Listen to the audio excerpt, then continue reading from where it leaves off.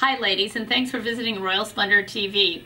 It's so much fun to be back with you. We have a couple items today we're going to talk about. The first item is what I'm wearing on my head. Isn't it fun? It's our red crushable hat with our excellent tutu on it.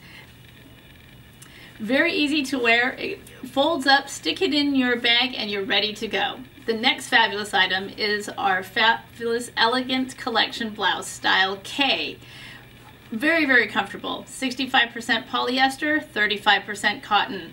It comes in small through extra large, 1X, 2X, and 3X, and it's only starting at $22.99. You have button down, you have collar, and you have two adjustable buttons on your cuffs.